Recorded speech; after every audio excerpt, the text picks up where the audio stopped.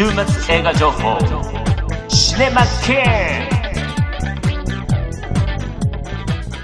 週末映画情報シネマキング第63回目スタートいたします。案内役は映画ネナビゲーターそしてシネマクロスメディア C2 発行編集人の川本明がお届けします。え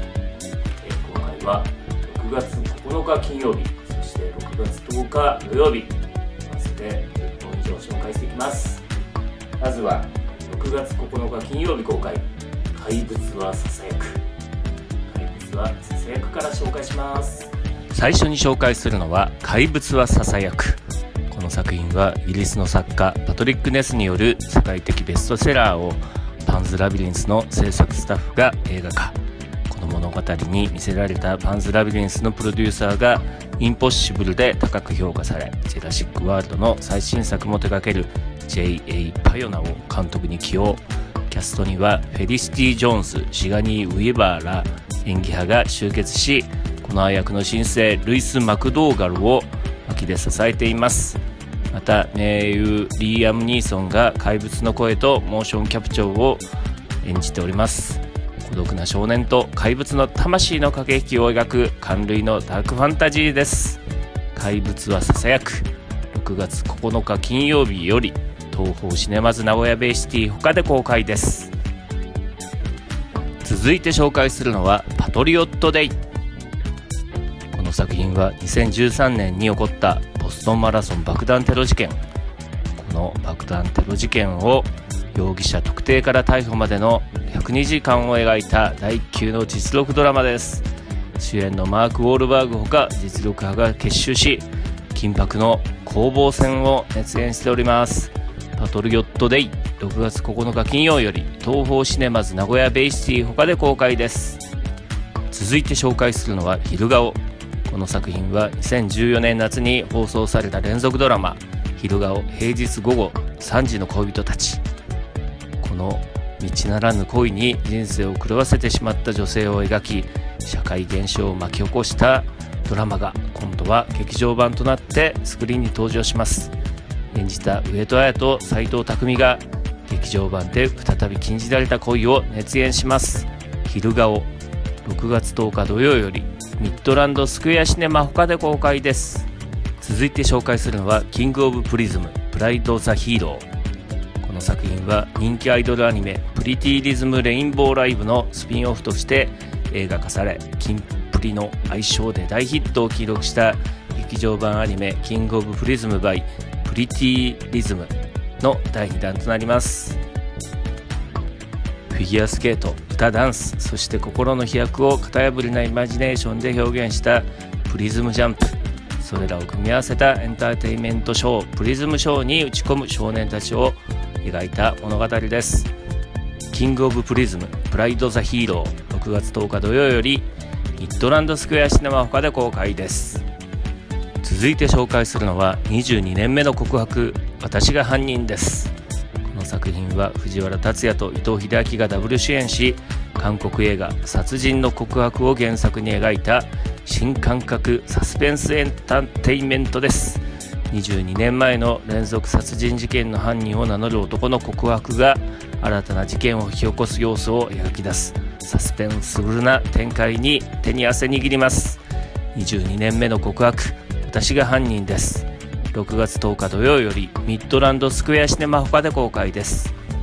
続いて紹介するのはある決闘セントヘレナの掟。この作品は数々のハリウッド大作に出演しているウディ・ハレルソンとハンガーゲームシリーズのリアム・ヘムズワースが共演した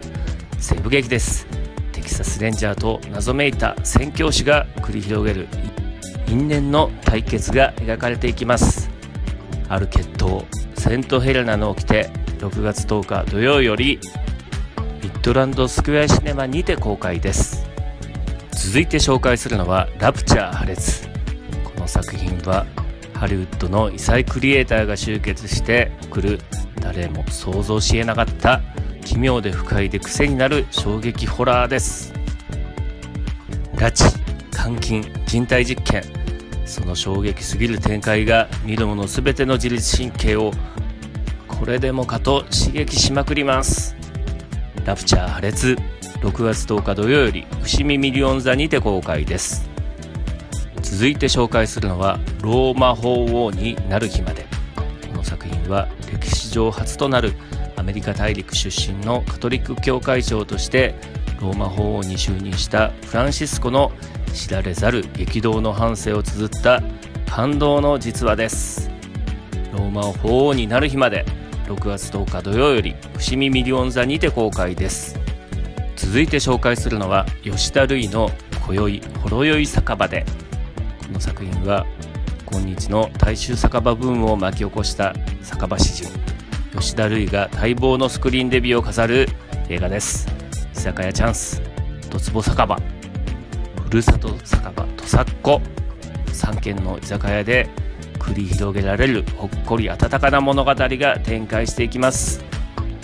吉田類の今宵ほろ酔い酒場で6月10日土曜よりセンチュリーシネマにて公開です。続いて紹介するのは女神様。この作品は松井玲奈新川優愛という女優として注目度急上昇中の2人をダブル主演に迎え牙をなくし人生に絶望した女性とそんな環境を克服した女性との奇妙な出会いを描いたミステリアスな物語です。女神様6月10日土曜より中川コロナワールド他で公開です。続いて紹介するのはまるでいつもの夜みたいに高田渡る東京ラストライブ。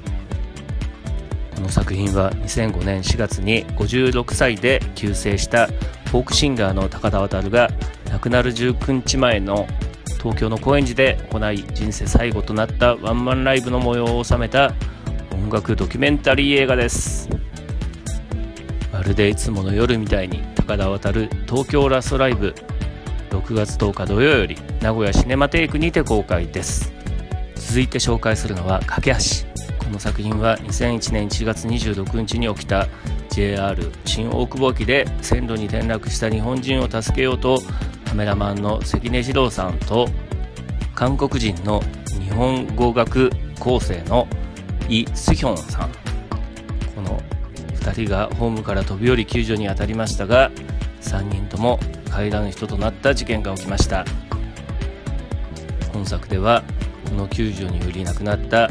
韓国人留学生を軸に日韓関係について工作していくドキュメンタリー映画です。架け橋6月10日土曜から6月16日金曜までシネマスコーレにて公開です。続いて紹介するのは女流逃避伝秋。この作品は麻雀女流プロの二階堂秋が原案を担当した自伝的コミック「秋」を雑誌モデルや「仮面ライダー1号」などで女優としても活躍する岡本夏美主演で実写映画化したものです。麻雀界のカリスマ二階堂秋15歳だった彼女が生きに行くためにこの道を選んだ理由とは？たどり着いた本物の麻雀そして本物の人生とは？女流逃避伝秋6月10日土曜よりシネマスコーレにて公開です。はいいかがでしたでしょうか？今回もどんな作品を紹介してきました、えー皆さん映画館行ってますか？映画館で映画でしてみてください。それでは